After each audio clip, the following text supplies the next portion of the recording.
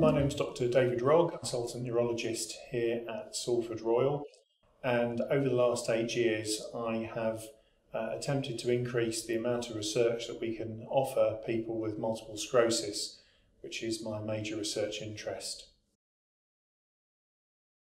Multiple sclerosis is a common neurological disorder uh, affecting predominantly younger people uh, in the prime of their lives. And we've looked to offer people uh, new drug treatments as well as improving the understanding of the causes of multiple sclerosis and also the impact of multiple sclerosis on people's lives through research. Clinical research um, can involve uh, a number of visits to the hospital, additional tests, additional investigations, and completion of questionnaires and other outcomes. That commitment from a large number of people over the years has translated into new treatments now being available in the clinic. Multiple sclerosis in the relapsing remitting form affects at least twice as many women uh, as it does men, and often um, women of childbearing age in their 20s to 40s.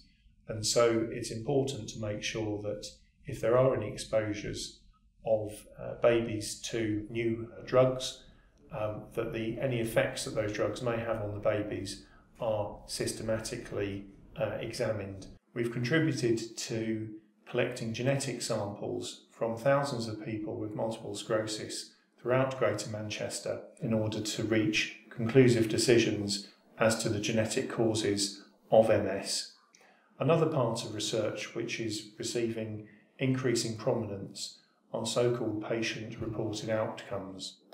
And this is where uh, researchers try to gain an understanding of the things that are most important to patients themselves. One of the exciting aspects of working in the field of multiple sclerosis are the number of new uh, drugs which are in development and also the number of drugs which we have tested in clinical trials and have come to market and are now used in our NHS clinics for the benefit of people with multiple sclerosis. Further details can be found on our website. Uh, please feel free to contact the Barnes Clinical Research Facility um, if you wish to participate in research and you want to know more. Thank you.